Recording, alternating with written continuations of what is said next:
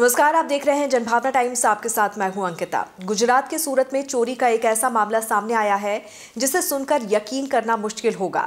गुजरात के साथ ही देश के कई राज्यों में ऑयल कंपनी के पाइपलाइन में छेद कर ऑयल चोरी करने वाले ऑयल माफिया संदीप गुप्ता को पुलिस ने गिरफ़्तार कर लिया है। संदीप पर 400 करोड़ रुपए की ऑयल चोरी करने का आरोप है।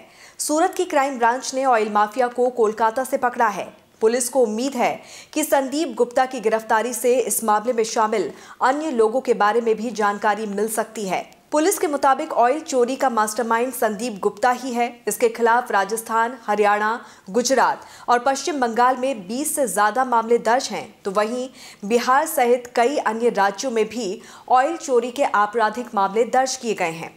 सूरत पुलिस ने संदीप गुप्ता के खिलाफ गिरफ्तारी वारंट जारी किया था। शातिर अपराधी गुजरात और राजस्थान के मामलों में अंतरिम जमानत के बाद से फरार था। लेकिन अब सूरत पुलिस के हाथ एक बड़ी सफलता लगी है और शातिर अपराधी पुलिस के हत्ते चढ़ चुका है।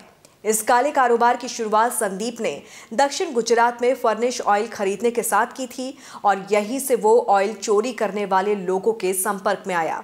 संदीप ने एक मोड्स ऑपरेंटी तैयार किया और इसके तहत वो इंडियन ऑयल और ओएनजीसी की पाइपलाइन के आसपास की फैक्ट्री या शेड किराए पर लिया करता था। इसके बाद ये लोग पाइपलाइन में छेद करके तीन से चार टैंकर ऑयल चुरा लिया करते थे। गुजरात एटीएस ने संदीप गुप्ता के खिलाफ गुच कीटो कानून के तहत मामला दर्ज किया था, जिसमें वो फरार चल रहा था।